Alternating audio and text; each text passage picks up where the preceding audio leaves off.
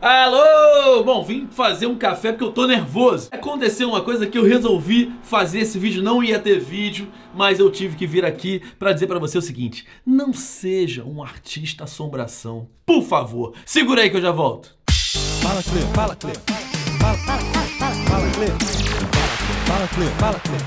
Fala, Cleo, fala, Cleo, fala, Cleo.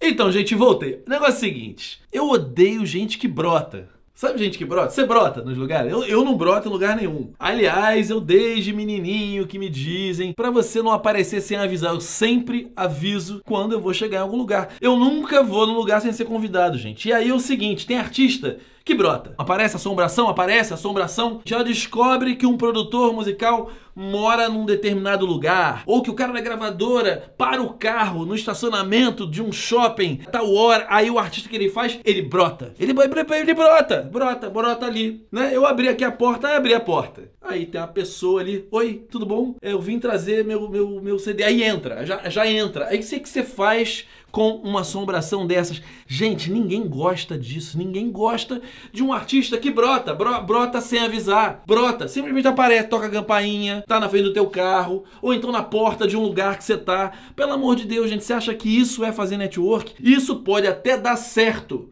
Às vezes dá certo, mas também nas outras vezes, que a grande maioria que dá errado, que acontece? Você vira o mala, o mala assustador que brota. Eu já tive artista assim que trabalhava comigo que brotava. Nem se você trabalha comigo, você pode brotar. Gente, eu não vou aparecer na tua casa. Assim, do nada eu vou aparecer. Toca a campainha assim, vou lá. Vou lá, e aí, Clemente, tudo bem? Pelo amor de Deus, esse vídeo é curto só para dizer o seguinte para você: não seja invasivo, não apareça nos lugares que você não foi convidado.